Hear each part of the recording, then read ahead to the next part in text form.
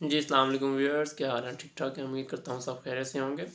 जी तो मैं हूँ आपका होस्ट सैयद शान रज़ा और आप देख रहे हैं मेरा YouTube channel P K life and living. जी तो व्यूअर्स, आज इंशाल्लाह हम बात करेंगे टर्की के वीज़ा के हवाले से और टी के हवाले से। जैसा कि मैंने आप, पहले भी एक वीडियो अपलोड की हुई है जिसमें मैंने बताया था कि मैं भी टर्की गया हुआ था विज़िट वीज़े पे, लास्ट ईयर विद फैमिली। तो मेरा टूर कैसा रहा, वो मैंने इसमें सारा एक्सप्लेन किया हुआ है।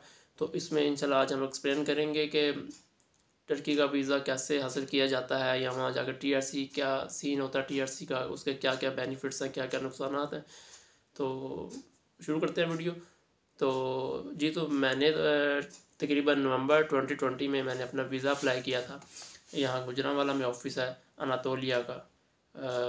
टर्की एम्बेसी से उनका एफिलिएटेड है वो। तो वहाँ पे मैंने विद फैमिली अपना वीज़ा अप्लाई किया था।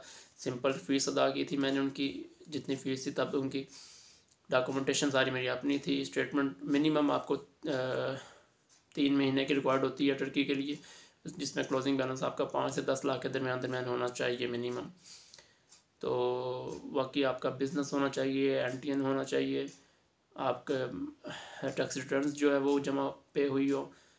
तो मेरा अल्हम्दुलिल्लाह सब कुछ था, लेकिन अगर आपका जो भी बिज़नेस है, अगर वो चैम्बर से रजिस्टर्ड है तो आपको और भी ज़्यादा बेनिफिट है।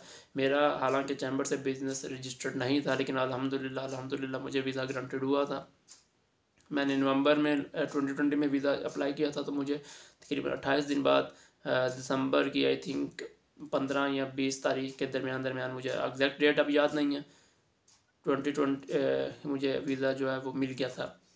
और उसके बाद मैंने फिर ट्वेंटी ट्वेंटी वन में जब वो ट्रैवल किया था टर्की के लिए विद फैमिली गया था मैं तो वहाँ जाके फिर मैंने अपनी टी आर सी अप्लाई की थी। तो वीज़ा लेना खैर इतना मुश्किल नहीं है, आपके अगर डॉक्यूमेंटेशन मुकम्मल है तो आपको किसी एजेंट के पास भी जाने की ज़रूरत नहीं है, आप खुद अपना वीज़ा अप्लाई करें। तो नाइन्टी परसेंट चांसेस यही होते हैं कि आपको वीज़ा मिलेगा, टेन परसेंट चांसेस होते हैं कि वीज़ा रिजेक्ट हो। अगर आपके डॉक्यूमेंट्स ओरिजिनल हों सारे, कोई भी फेक ना हो और बैंक स्टेटमेंट वगैरह, सब कुछ ईच एंड एवरीथिंग जो है आपके पास हो। मैं अभी यहाँ पे उनकी जो चेक लिस्ट है, वो भी आपको शो करवा दूँगा। वो अभी आप देख लीजिएगा उनकी चेक लिस्ट में आप क्या कुछ रिक्वायर्ड है उनका। तो आसानी से डॉक्यूमेंट्स पूरे हो जाते हैं, वो इतना डिफ़िकल्ट नहीं है। तो वहाँ जाके फिर आपको टीआरसी अगर आपने लेनी है तो टीआरसी के लिए मेरे एक बहुत अच्छे भाई हैं, दोस्त हैं। सरगोदा के हैं। मेरा उनसे कॉन्टैक्ट हुआ था तो मेरा सारा जो केस है वो उन्होंने ही हैंडल किया था। और अलहमदिल्ला मुझे तकरीबन जाने के बाद वहाँ पे पंद्रह से बीस दिन के अंदर अंदर टीआरसी मिल गई थी मुझे। तो टीआरसी भी मैंने विद फैमिली अप्लाई की हुई थी। तो उसके लिए आपको वहाँ पे रेंटल एग्रीमेंट चाहिए होता है। पहले तो फेक भी चल जाते होते थे, लेकिन आजकल वो फेक नहीं चलते। आजकल आपके नाम का रेंटल एग्रीमेंट जहाँ पे बाकी आप रहाइश भी दे रहे हैं वो चाहिए होता है। उसके अलावा इंश्योरेंस होती है आपकी, ठीक है। बाकी और भी कुछ रिक्वायरमेंट्स होती हैं, वो जो आपका जो भी उधर वकील होता है वो कर लेता है। पिछले दिनों में टीआरसी वगैरह बंद थी, लेकिन अब सुना है कि टीआरसी वगैरह ओपन हो गई हुई हैं।